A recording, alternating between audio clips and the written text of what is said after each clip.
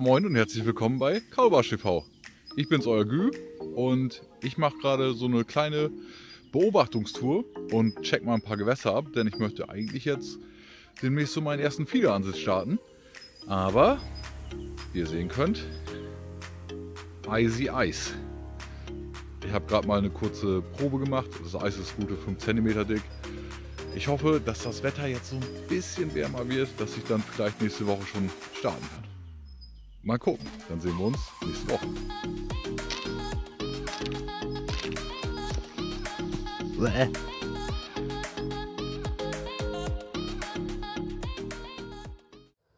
Moin und herzlich willkommen zu einer neuen Folge Kaulbarsch TV.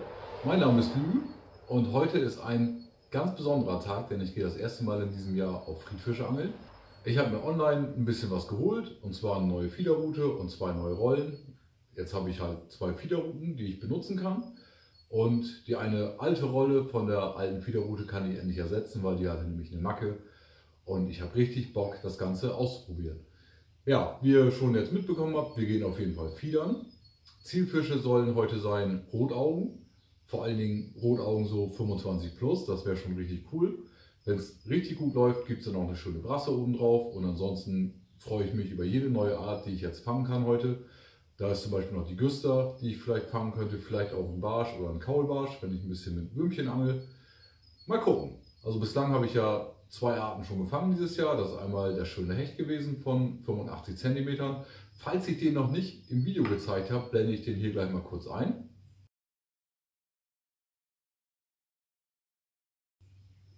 Und ich habe natürlich den schönen Dorsch gefangen vom allerersten YouTube-Video.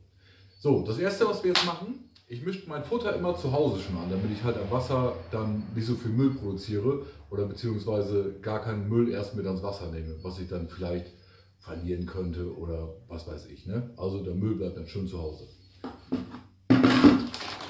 Das erste, was ich nutzen werde, ich habe hier so einen Mix, das ist ein ja, rötliches Futter.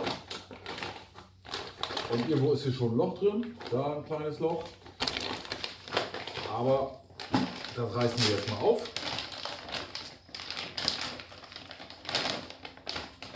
So, da packen wir jetzt mal ein bisschen was von rein.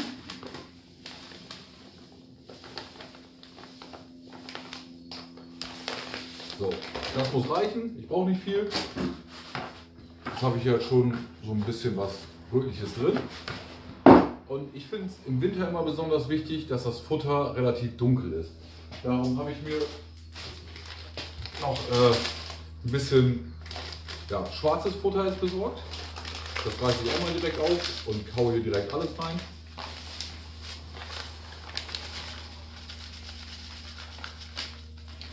Und ich glaube,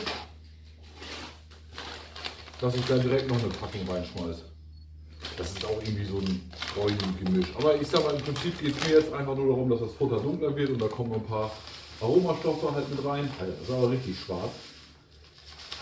Junge, Junge. So, jetzt habe ich hier ungefähr zweieinhalb, drei Kilo Futter drin. Die brauche ich natürlich heute nicht alle, ne? Aber das Gute ist halt, dass die in einem Eimer, so wie hier, da kann ich die halt auch Ewigkeiten lagern. Wichtig ist nur, dass ich hier keine äh, ja, Flüssigkeiten mit reinbringe, die zuckerhaltig sind. Zum Beispiel, wenn ich hier jetzt äh, Mais oder sowas mit reinmachen würde, dann wird das Futter mega schnell gammeln. Aber solange das Futter unberührt bleibt, kann das da, keine Ahnung, monatelang drin bleiben. Ne? Aber das ist ja auch erstmal nur die Grundmischung, die ich dann gleich mit ans Wasser nehmen werde. So, jetzt sieht das Ganze schon relativ dunkel aus. Das gefällt mir ganz gut.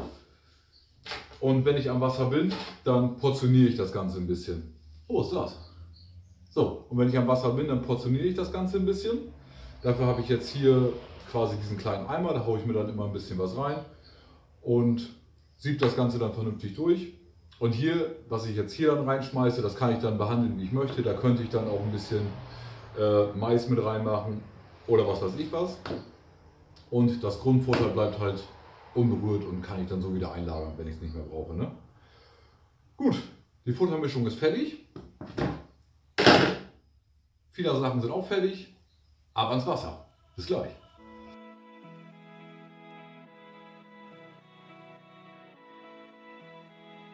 Ja, endlich on the road again. Und auf geht's zum ersten Friedfischansitz 2021. Vor einer Woche waren Kai und ich Brandungsangeln und wir haben Wattwürmer gegraben bei, ich glaube, minus 11 Grad. Und allerdings morgens so während der Dämmerung, ne? minus 11 Grad. Ich gucke jetzt aufs Thermometer. Wir haben es jetzt halb eins, also mittags, und wir haben plus 14 Grad. Ja, könnt ihr mal sehen, was für ein kranker Temperaturunterschied hier innerhalb von einer Woche herrscht. Ähm, wir haben heute auch Ende Februar und ich hoffe, dass die Gewässer eisfrei sind. Denn das letzte Mal, wo ich geguckt habe, da kann ich euch hier auch mal ein kleines Video einblenden, wo ich an dem Spot war. Das ist auch vor einer guten Woche passiert. Da war komplett Eis drauf. Also da hatten wir ein paar Zentimeter Eis. Ich hoffe, das ist jetzt weg. Ansonsten müssen wir uns einen Plan B ausdenken. Aber auf jeden Fall an der Stelle habe ich schon ein paar schöne Rotaugen immer so gefangen in der äh, Ende Winter, Anfangs, Anfang Frühlingszeit, sage ich mal. Und das wollen wir heute auch machen. Dann sehen wir uns gleich am Wasser. So, ich bin endlich am Spot angekommen. Herrlichstes Wetter, also man kann das echt wunderbar aushalten. In Jeanshose und Pulli. Ich habe jetzt die Routen aufgebaut. Zwei Fiederrouten halt draußen. Und dann zeige ich euch gleich mal, wo ich die abgelegt habe. Und wenn ich eine Montage mal wieder drin habe, zeige ich euch mal, wie meine Montage aussieht.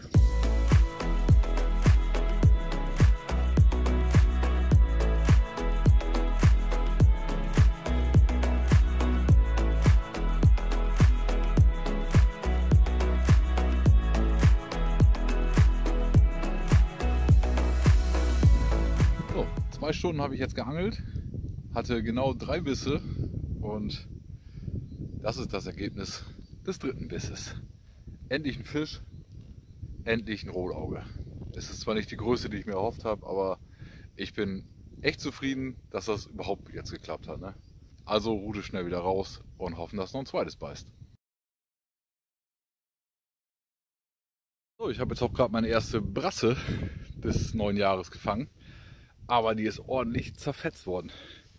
Einmal, weiß nicht, ob ihr das sehen könnt, da unten und die andere Seite, die sieht sogar noch recht frisch aus.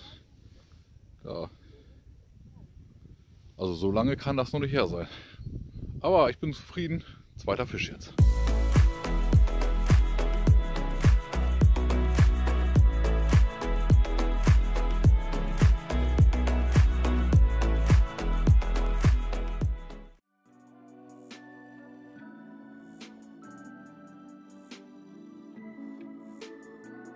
Ja, moin und willkommen zurück. Nein, wir sind nicht auf der Rückfahrt, sondern wir sind schon wieder auf der Hinfahrt. Ich habe gestern einfach keine Abmoderation mehr gemacht. Ich habe gestern insgesamt fünf Fische gefangen, davon drei Rotaugen und zwei kleinere Brassen. Äh, größte Rotauge hatte 18 cm und ansonsten ging nicht allzu viel. Also ich habe vier Stunden geangelt und fünf Fische gefangen. Das war ganz okay. Ich war froh, dass ich überhaupt Fische gefangen habe. Aber das Ganze will ich heute gerne toppen, denn ich habe ja gestern schon ein bisschen angefüttert an den Stellen und an genau den gleichen Stellen möchte ich jetzt wieder angeln. Äh, ich gucke gerade auf den Tacho. Wir haben es jetzt 11 Uhr. Ich glaube, gestern bin ich um 13 Uhr angefangen. Also heute mal zwei Stunden eher. Und wir haben auch schon wieder flockige 11 Grad. Und so wie es aussieht, kein Wind. Und das ist doch mal sehr gut. Alles klar, bis gleich. So, da sitze ich schon wieder. Die erste Route ist im Wasser. Und jetzt wollte ich euch mal kurz eben zeigen, wie meine Montage aussieht. So, das ist meine Montage. Rechts seht ihr den Fiederkorb. Hier fängt die Schlaufenmontage an. Und in dieser Schlaufenmontage ist halt ist der Wirbel drin. Und der Wirbel, da kann ich dann Futterkörbe variieren. Da kann ich einen Futterkorb reinhängen mit, keine Ahnung, einen großen Futterkorb mit 50 Gramm. Da kann ich einen kleinen Futterkorb reinhängen. Hin und her. Und an dieser Schlaufmontage ist auch ein sogenannter äh, Seitenarm. Das ist das Ding hier. Und der hilft dabei, dass der Haken Abstand vom äh, Wiederkorb nimmt. Ich hebe das Ganze mal hoch, dann seht ihr, wie das aussieht. Oh ja, und an dieser Seitenarmmontage ist natürlich mein Haken. Ein ganz, ganz kleiner Haken. Da ist er. Größe 18er Rotaugenhaken. Da ist der Seitenarm und der hält quasi den Haken auf Abstand. Ne? Und dann kann ich da schöne Futterspur mitziehen mit dem Futterkorb und der Haken liegt dann schön im Futter drin und kann sich nicht vertüdeln. Auch heute ist der erste Fisch ein kleines Rotauge. Ich schätze mal so 15 cm, aber ist doch schon mal ein guter Start. Und zumindest hat jetzt innerhalb von der ersten halben Stunde schon mal der erste Fisch gebissen. Das hat gestern, glaube ich, eineinhalb Stunden gedauert. Ja, geil, so kann es weitergehen. So nach einer guten Stunde ohne überhaupt einen Kontakt habe ich mal wieder einen Biss gekriegt und auch tatsächlich einen Fisch landen können. Das ist diesmal wieder ein Rotauge und diesmal sogar um die 20 cm. Also das ist doch schon mal was Gutes. Das größte Rotauge bis jetzt dieses Jahr. Hoffentlich haben wir jetzt eine schöne Beißphase und können noch ein paar mehr Fische fangen.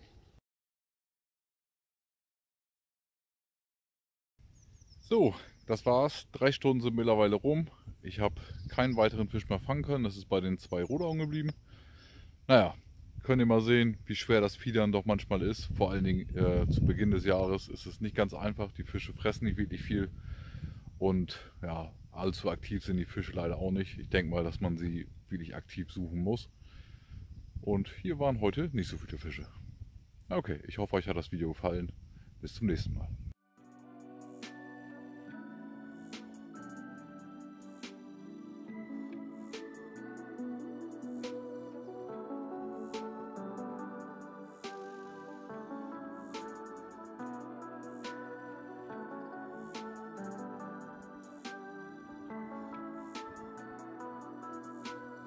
Ja, moin Freunde der Sonne, da bin ich wieder. Alter Spot, ihr kennt ihn. Ich möchte heute hier das Video zu Ende bringen und zwar am besten mit einem etwas größeren Fisch. Dann haben wir so diese ganze Evolution vom ja, Kanal mit Eis bedeckt bis hin zu ein bisschen wärmer bis hin zu heute. Ne? Dann haben wir, glaube ich, einen guten Monat abgedeckt. Und dann kann man mal sehen, wie sich so das Beißverhalten der Fische vielleicht entwickelt. Ich hoffe, ich kann euch das auch heute zeigen, indem ein paar mehr Fische kommen, vielleicht ein paar größere. Naja, wir sind gespannt. Wir haben es heute übrigens gar nicht so warm. Also 10 Grad haben wir gerade. Ich bin wieder um die Mittagszeit hier. Ich habe zwei Stunden Zeit. Dann hier muss ich nach Hause noch ein bisschen was erledigen, bevor es in die Nachtschicht geht. Und ja, ich hoffe natürlich, dass ein schöner Fisch kommt. Ich hoffe auf einen schönen Brassen. Aber trauen wir natürlich ein schönes, dickes Ü30 Rotauge. Habe ich hier schon gefangen, habe ich glaube ich schon in der letzten Folge erzählt. Ähm, aber lassen sich natürlich nicht so leicht überlisten. Naja, erstmal gucken, ob überhaupt ein Fisch kommt.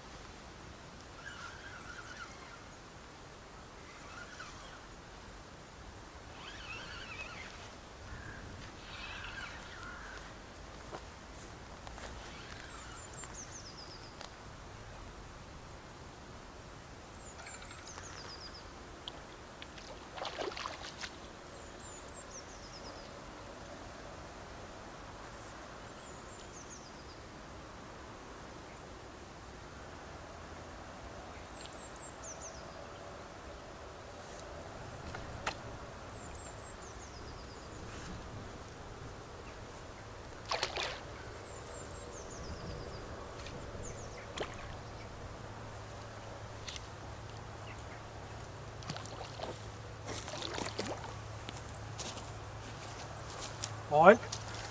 Moin. Wolltest du die Bäume sägen oder was? Ne, Buschwerk wechseln. Ja. Dafür müsste deine Kamera und deine Tasche gleich im Putzband Ja, kein Problem.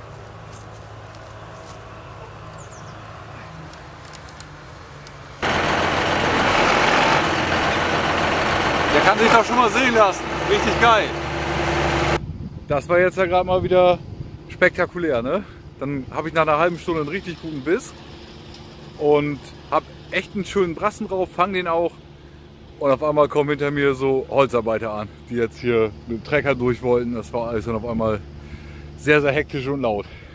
Naja, den Trecker da hinten seht ihr noch. Waren auf jeden Fall sehr nette Leute.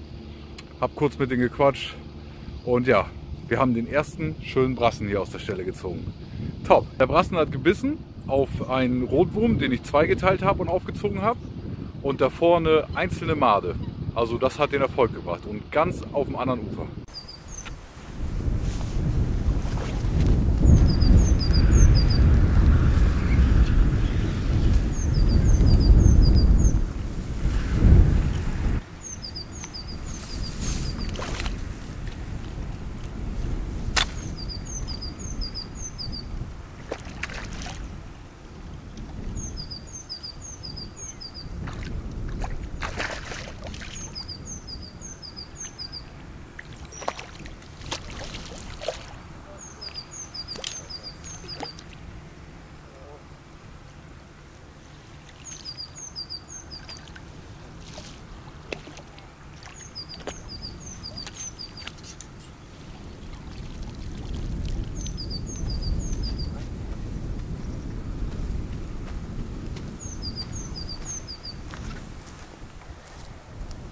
So, der nächste schöne Brassen.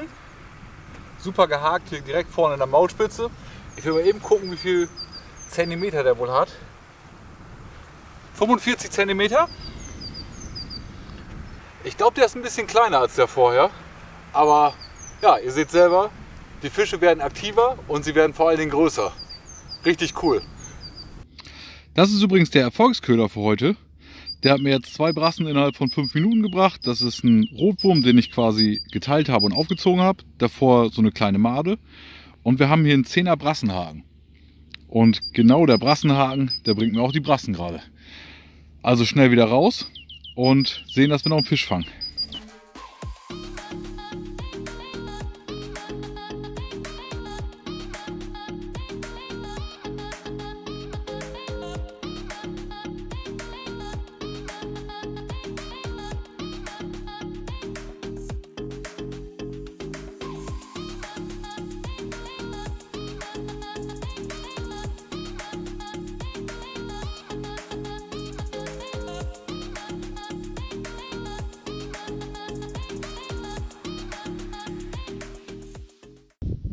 Also ich bin mir eigentlich recht sicher, dass wir vor ein paar Minuten noch Sonnenschein hatten.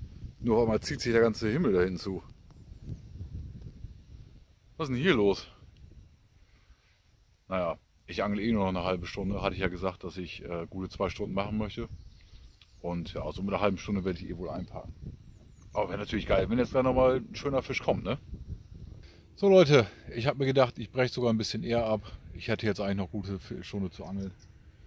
Aber es wird schweinekalt auf einmal. Und da habe ich nicht mit gerechnet. Also ich bin hergefahren bei 10 Grad und äh, Sonnenschein. Und allein die Sonnenstrahlen, die machen immer noch so ein bisschen Temperatur gut. Und ja, auf einmal haben wir irgendwie so ein Hochnebelfeld hier, was aufgezogen ist.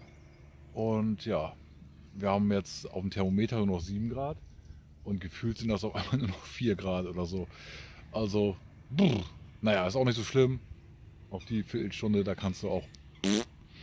Ich habe zwei gute Brassen gefangen. Tagesziel habe ich somit also erreicht. Ich wollte mindestens einen guten Fisch fangen. Ich habe gleich zwei gefangen. Ähm, ich habe allerdings auch keine anderen Bisse mehr gehabt. Also ich gehe mal davon aus, dass es einfach nur ein Brassenschwarm gewesen, der hier durchgezogen ist. Wenn ich ab und zu mal da unten hingucke, äh, ne? ich habe nur meine Fiederrouten noch ein bisschen im Auge. Also war wahrscheinlich nur ein Schwarm, der da durchgezogen ist, ein bisschen größerer. Aber ja, das Glück musst du dann auch erstmal haben, dass du die Fische fängst. Ne? Gut, ich hoffe, euch hat das Video gefallen. Wenn ja, lasst gerne einen Daumen nach oben da. Abonniert gerne den Kanal, einfach mal hier so eine Runde klicken. Oder wenn ihr Bock habt, guckt ihr euch ein Video an, wo ich vorher mal irgendwo angeln war. Dazu klickt ihr einfach hier nach oben. Leute, bis zum nächsten Video. Haut rein.